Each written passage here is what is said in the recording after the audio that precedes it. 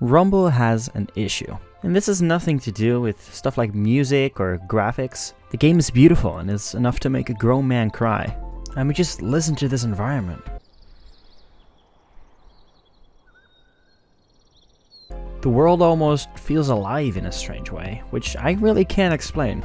The idea to be able to earthbend in a game, let alone VR, is probably something that was inevitable. And the guys at Buckethead just, just made it work. There's just something about spawning in a boulder and just punching it at Mach 5 that's just that's just nice. But we do really have to talk about something here, and it all has to do with the actual gameplay. Rumble's biggest current issue is that there's just not enough players. Not a lot of people have VR at the moment, let alone a beefy gaming PC that can handle the game. Because yeah, the game isn't out on Quest. Seriously, if I get one more question if this game is on Quest, I, I'm, I'm gonna do something.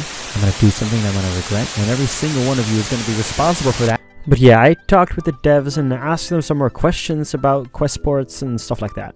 What Tom from the dev team said is that they're actively looking into getting it to work on Quest. Technically, they've already made it work, but it was unplayable and not very fun. Now, this doesn't mean that they're confirming that the game will be on Quest, but they are really looking into it and they want to make it happen.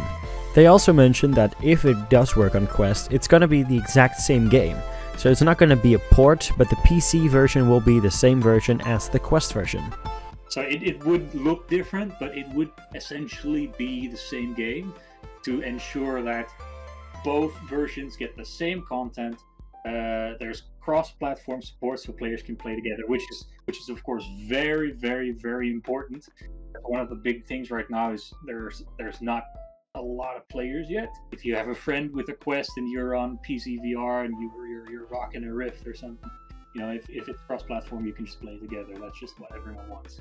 And you know, he's totally right. Having Quest support is probably the biggest thing that people want right now. But Quest supports aside, let's talk about something else. Difficult games is something that everybody enjoys. Having a challenge in a game is probably one of the best things a game can have. Rumble is no exception. Actually learning the difficult moves and mastering them feels really good. And the way you unlock new moves is also very good. You actually unlock more the better you get. But I think that the moveset you get at White Belt, which is Pillar, Straight, and Disc, isn't the best and does not make the game very fun. If you have Rumble, try it out. Try using only those three things. You'll quickly realize that the game isn't that exciting anymore. So yeah, in my opinion, uh, it's probably best if they update the White Belt moveset. But yeah, that's my opinion, and they don't have to do anything with that, of course. I know I sound a little bit negative in this video, so let's talk about something that we can really look forward to. So yeah, voice chat has basically been confirmed, and I truly believe that this will make the game much more fun to play. As you undoubtedly know, we're currently working on voice chat, and we're hoping we're hoping that this will allow for more of that uh, training between players, even in games. It can be kind of tough to communicate exactly what to do to newer players, but adding voice chat would surely help. So yeah, this is really something to look forward to, and I'm really, really excited to talk to y'all in-game.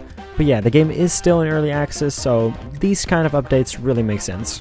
If you ever want to find extra players, I can highly recommend you joining their Discord. I of course left a link in the description if you want to join. There's a lot of active people there daily, helping each other out, learning how to play, setting up matches. If you're having trouble playing the game or finding an opponent, up in the Discord or even on the Steam forums.